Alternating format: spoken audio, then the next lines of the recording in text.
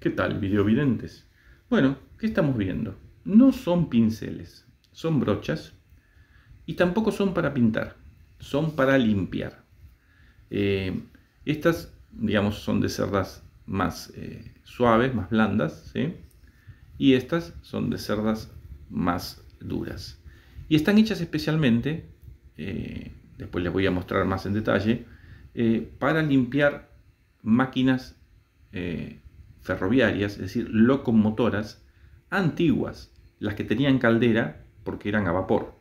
Y además esas calderas eran alimentadas con carbón, no carbón vegetal. Eh, normalmente se usaba eh, el coque, el carbón mineral, que era altamente cancerígeno. Por eso eh, muchos motorman o digamos conductores de locomotoras que iban de a dos, ¿no? iban con un ayudante que era el que iba echando el carbón en la, en la caldera, eh, terminaban con cáncer de piel. Eh, y bueno, la zona más afectada normalmente eh, era la zona del cuello, que era la más expuesta. Por eso acostumbraban después a usar el uniforme, un pañuelo al cuello, más allá de una gorra también, ¿no? O sea que dejaban expuesto la menor porción de cuerpo posible. aunque no se sabía bien qué era lo que lo causaba, bueno, se, sospechaba que algo había porque eran justamente una profesión que siempre eh, o que mayormente padecía ese tipo de, de problema de salud. ¿no? Bueno, eh, estas especialmente eran inglesas, eran de los ferrocarriles eh, aquí en, en, Argentina que fueron hechos por los ingleses. ¿sí? esta era para limpiar la parte de los conductos de la caldera, para sacar el hollín. ¿sí?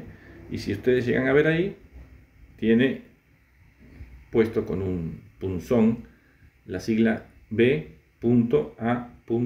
Eso es Buenos Aires al Pacífico. Era la línea eh, hoy llamada San Martín, aunque era la línea de carga, ¿no? El, San Martín ahora es la línea de pasajeros. Y este, bueno, este tiene más datos.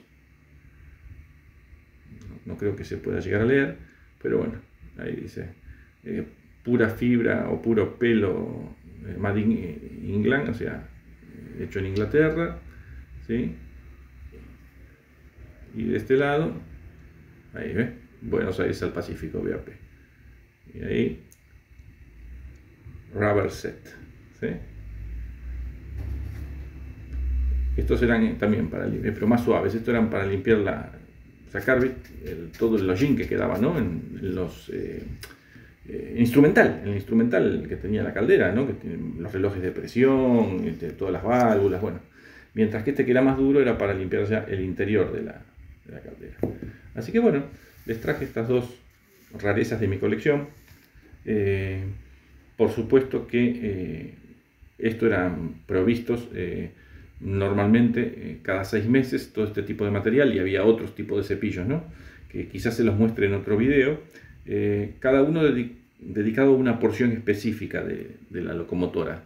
Eh, algunas de la parte de la caldera, otras de parte del instrumental y otros, bueno, en general de la cabina. ¿no? Así que bueno, espero que sea de su interés eh, y si no, nos estaremos viendo en el próximo. Saludos.